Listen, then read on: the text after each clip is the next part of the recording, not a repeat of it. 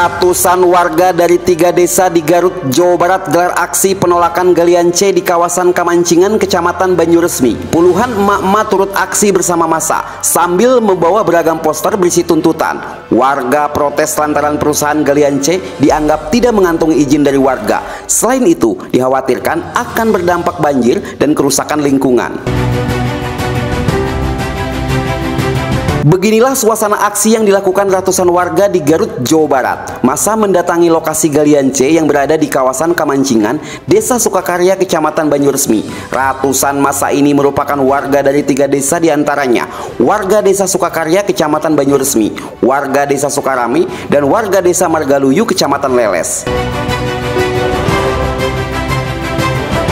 Mereka menolak keberadaan galian C yang baru dioperasikan oleh sebuah perusahaan di Garut, Jawa Barat.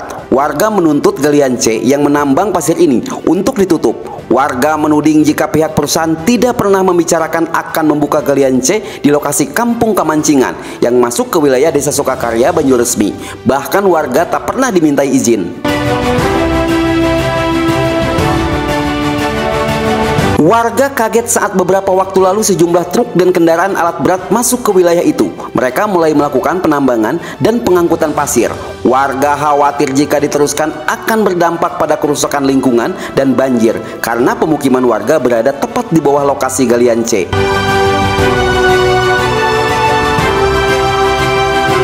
Selain itu, warga mengaku hingga kini tidak pernah menerima dana kompensasi dari pihak perusahaan. Di antara ratusan masa terdapat puluhan emak-emak yang turut aksi sambil membawa beragam poster yang berisi tuntutan mereka. Untuk tuntutan dari masyarakat sebetulnya masyarakat ingin mempertanyakan masalah legal formil, legal formil perusahaan ini apakah sudah absah atau tidak.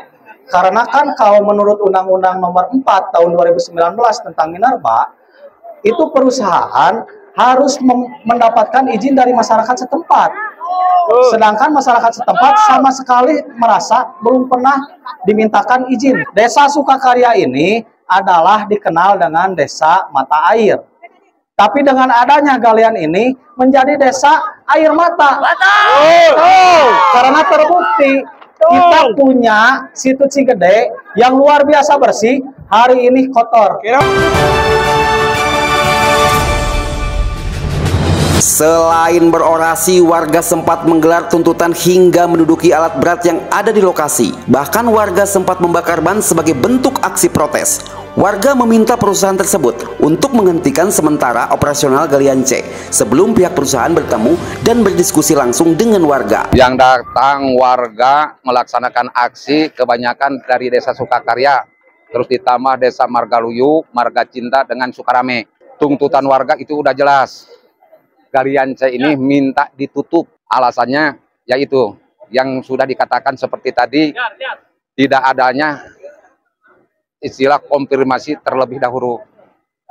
Maka dari itu masyarakat merasa kecewa dengan adanya kegiatan galian yang ada di sekitar Sukakarya. Sementara itu selama aksi berlangsung tak satu pun dari pihak perusahaan yang berada di lokasi. Ratusan masa pun tak berhasil bertemu dengan pihak perusahaan. Dari Banyuresmi, Garut, Jawa Barat. Garut 60 detik melaporkan.